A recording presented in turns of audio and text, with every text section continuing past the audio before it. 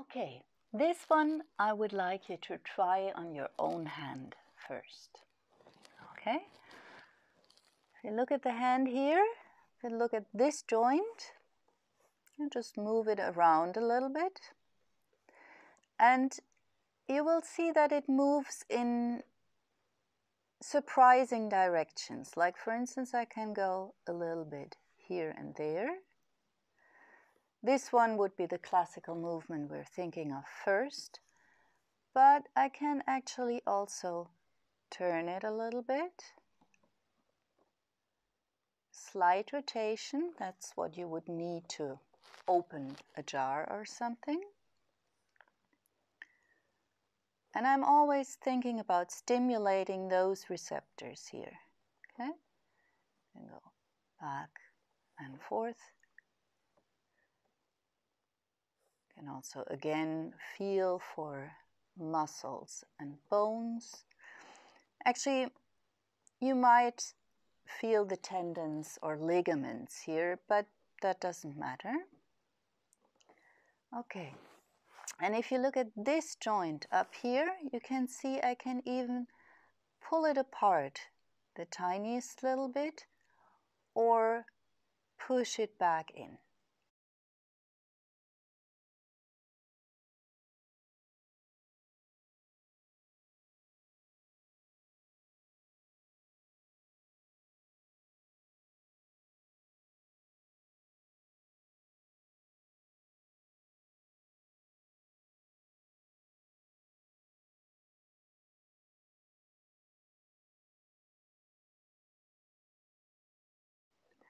And this is what we will do today. It's a distinction in between an easily movable free joint and a joint that's bearing weight. Okay? If I put my hand to standing, now it's bearing weight. This joint is closed. I can still move the hand, but it's quite a different thing from moving it freely. And the child has to know that distinction. Also, it's a very special feeling you usually don't get when you're lying on the floor, rolling around. You only start to get it when you start pushing. So, this is a preparation for weight bearing. And I'm gently pushing in here just to the point where I feel okay, there I have a contact through the skeleton into the next joint. Now, if I push any harder, it won't help. I'll just push the hand away. Just the idea of closing this joint. And if you have children that have, for instance, hands or arms that are bent like this, I'm always working directly into the next joint, so I wouldn't be pushing from here.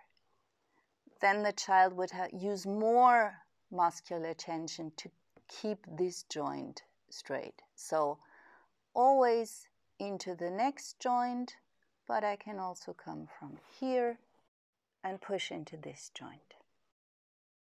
This is the idea. We'll take our child, put him down. Okay, and make him comfortable again. Okay, here you go. Again, the rollers under the feet. You could actually do that in any position. We'll do it in lying. And maybe give this one a support here under the arch of the back. Looks strange, is very comfortable for many children. So, we begin by waking the body up a little bit. If you're lying on a very soft surface, you could try this one again.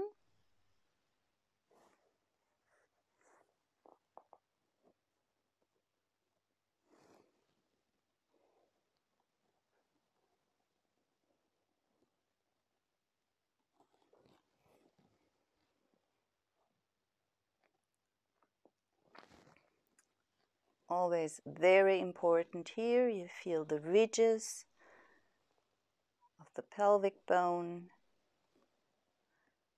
This one, this one, this one. Very good thing to push are the heels. And also with tiny rotational movements.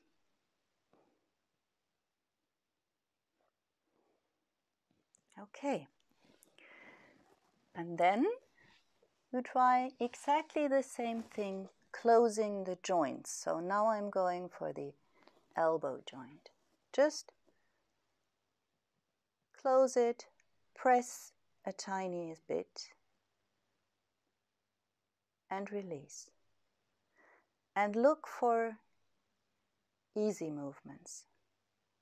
Maybe we'll start looking for easy movements first. If the elbow doesn't bend, go for the shoulder and just go where it's really free.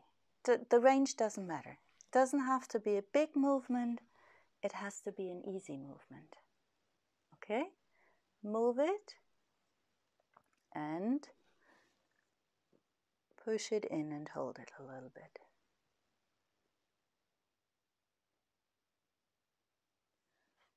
Move it. You could also pull, you're pulling on the scapula right now actually, but this is an interesting, interesting thing.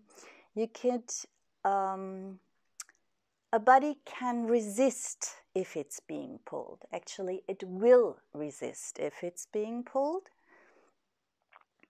You cannot really resist this pushing. Okay? If the next joint reacts, like if you can see the shoulder blade is going down here, and you get a little bit of movement in the neck, that's fine. But you don't have to go to anywhere where it's unpleasant for the child. Okay?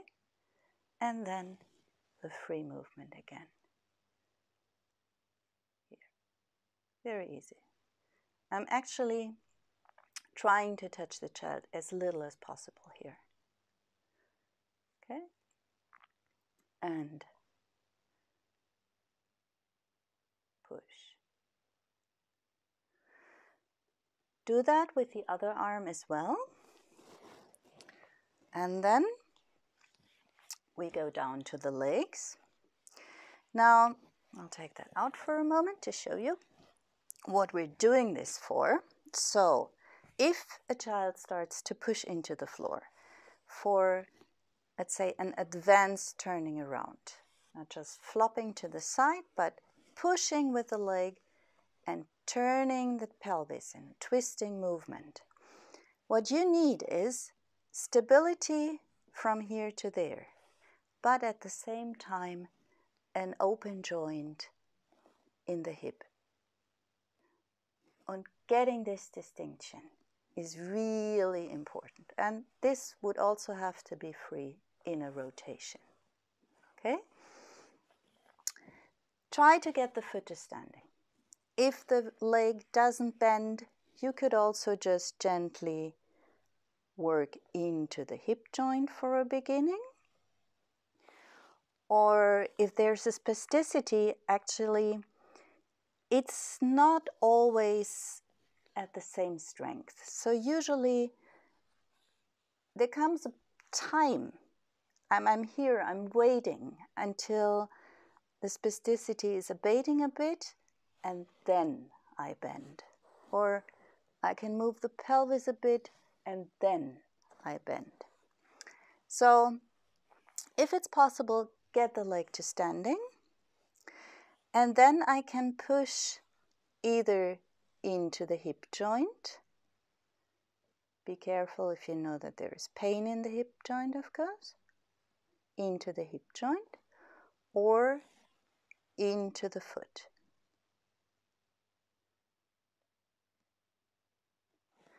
Into the hip joint.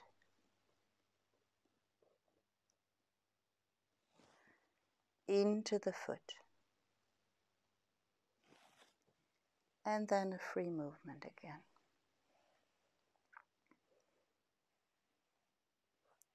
and repeat it a few times. You want to get that idea that just if I push any farther now, it will not be this joint, but it goes right into the skeleton. Okay? And finally, you could push into this foot. I'm pulling the leg a little bit here to get the knee over the foot and gently open this one.